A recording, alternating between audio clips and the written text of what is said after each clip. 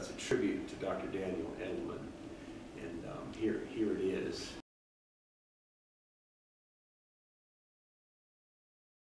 This served the highlight of my life. Mm. Thank you so much. Yeah, well, every day is a gift, isn't it?